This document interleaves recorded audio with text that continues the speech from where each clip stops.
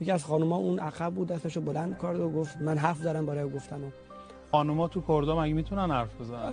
حرف زدن دیگه. تو رو خدا. این آره این روند شکسته شد. بله.